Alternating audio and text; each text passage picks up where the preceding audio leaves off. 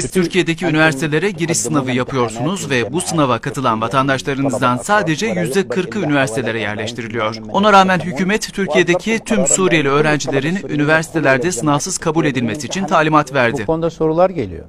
Yani Türkiye'de üniversiteye girmek çok zordur. Ama Suriyeliler başvurursa giriyorlar.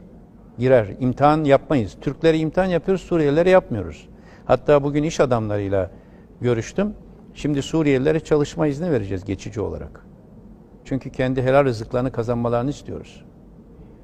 Ve belli bir düzenli hayatları olsun istiyoruz. İnşallah Suriye barış geldiğinde geri evlerine dönerler.